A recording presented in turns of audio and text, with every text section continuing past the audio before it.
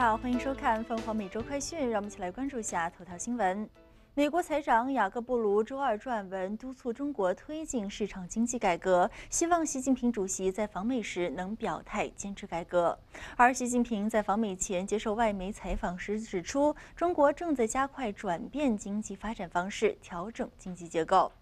更多的新闻内容，请继续留意晚上播出的凤凰美洲新闻。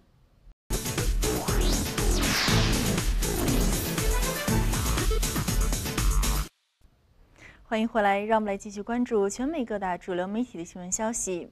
美国西海岸时间九月二十二日上午，中国国家主席习近平一行抵达美国西海岸工商业重镇西雅图，正式展开受到国际间广泛关注的国事访问。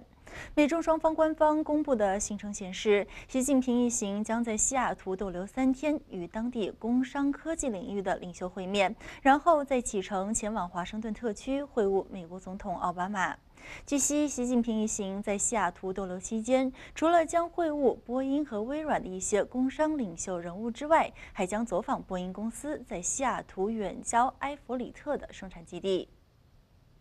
二零零八年，美国华生公司生产的花生酱和杏仁酱受沙门氏菌污染，导致九人死亡。周一，美国法院判处美国华生公司总裁六十一岁的帕内尔二十八年有期徒刑。帕内尔的弟弟米高·帕内尔被判二十年，前经理女经理威尔克森被判五年。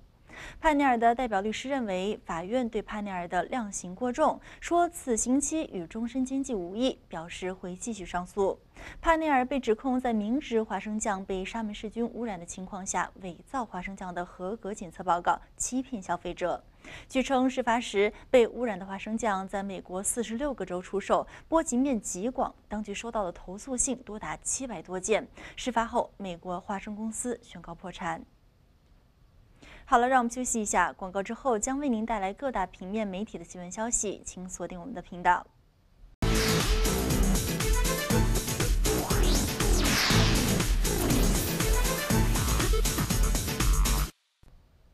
欢迎回来，接下来一起来关心全美各大平面媒体的新闻消息。当地时间二十一日下午，美国海军一架 F/A 十八超级大黄蜂战机在美国加州一个军事基地附近坠毁，飞机驾驶员成功弹射逃生。报道称，这架坠毁的超级大黄蜂战机上仅载有一名飞行员，飞行员成功弹射并通过降落伞安全着陆，其状况良好。加州高速公路巡警称，战机在距离勒莫尔海军航空站三英里的土地上坠毁，坠机引起的起火被扑灭，事故没有导致道路关闭。目前尚无这起事故造成人员伤亡或破坏的消息。伦德伯格调查公司日前公布的调查结果显示，全美全国汽油的平均价格过去三周内下跌了零点七美元，至每加仑二点四四美元，创下自二零零八年经济大萧条以来的最低水平。德伦伯格公司表示，和一年前相比，司机现在购买汽油可节省超过一美元。汽油均价下跌主要是因为供应量在不断攀升。南卡罗来纳州的查尔斯顿汽油价格为每加仑一点九四美元，是全美国汽油最低的城市。近日，魁省蒙特利尔东边的一座小城被一股动物腐尸的味道笼罩。一家公司在当地的堆肥中心埋放了三千多吨的冰冻虾，但是由于最近气温很高，解冻比公司的预期快，臭味很快的蔓延开来。这些虾原属于附近的一家生产磷虾油的公司，但是公司产房几年前发生爆炸，因此停产。二零一二年到货的这批虾一直储存在冰柜里，几年过去，公司一直没有为它们找到别的用处。经营堆肥中心的 GSI 环保公司接手处理，却对三千吨腐烂的虾所能释放出的味道缺乏正确的估计。该公司表示，这是第一次，也是最后一次接受海产品。接下来是美股收盘板块，让我们来联系纽约的记者赵冰晶。冰晶你好，昨天美国股市高开高收，为何今天市场上又全线下跌了呢？你好，主持人。受到欧洲股市的拖累呢，周二美国股市是大幅度的低开低走，道指开盘即下探了两百点，盘中呢也是震荡下跌，大指的跌幅呢是一度超过了百分之二，原材料板块领跌大盘。今天的欧股是大面积的暴跌，油价重挫百分之二，以及投资人对于中国经济的担忧呢，是成为目前压在美股身上的三座大山。那么在欧洲方面呢，我们看到大众汽车呢是连续两天出现悬崖式的暴跌，今天呢是再度暴跌了百分之二十，两天之内呢市值是蒸发掉了三百亿的欧元。美国环保署呢指控大众汽车的某些柴油车型呢有毒排放量超过了美国的标准，使得大众汽车呢是深陷了作弊丑闻，并且呢很可能面临高达一百八十亿美元的罚款。那么在亚洲方面呢，周二亚洲开发银行是将二零一五年中国 GDP 的增速预期从百分之七点二下调至了百分之六点八。中国国家主席习近平呢是在对美国进行国事访问期间接受了《华尔街日报》的专访，表示尽管最近经济下滑，中国政府仍然准备进行全面的经济改革。但是呢，这些言论未能够安抚市场的情绪。衡量市场恐慌情绪的指数 VIX 今天是暴涨了百分之十六，显示出投资人心中的不安。本周呢，在经济数据上是相对比较安静的。不过呢，有多位联储官员的讲话吸引了市场的关注。他们大多表态呢，美联储在年内加息应该是没有问题的，这也是让市场的担忧再起。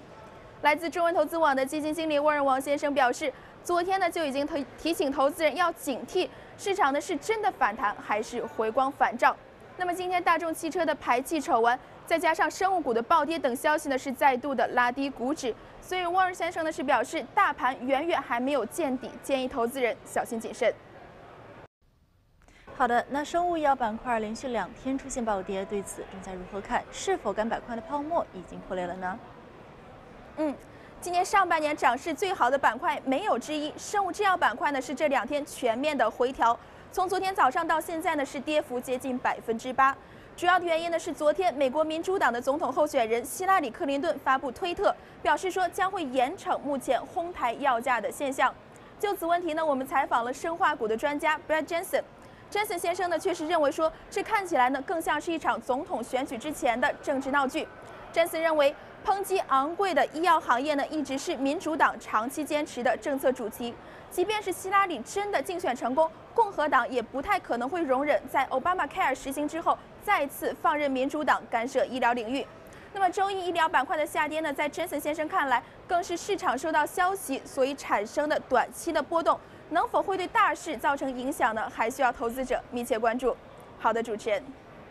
好的，谢谢冰晶。那以上就是今天凤凰每周快讯的全部内容。详细的新闻内容，请继续收看晚上播出的凤凰每周新闻。如果你想关注更多的每周新闻，欢迎加入我们的微信公众平台 PSTVUS 进行订阅。我是一，不要走开。广告之后，我们继续为您带来放点微博。